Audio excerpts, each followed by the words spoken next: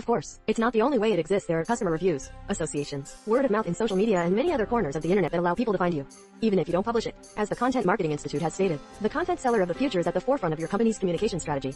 If you've been reading this blog for some time, you're no stranger to content preservation. It doesn't just focus on referencing, activating sales, or creating on-demand content. A company's content is the way the company exists online, but its content, its website, blog, emails, social media is the way to control and monitor this presence. Content is the vehicle for your basic messages.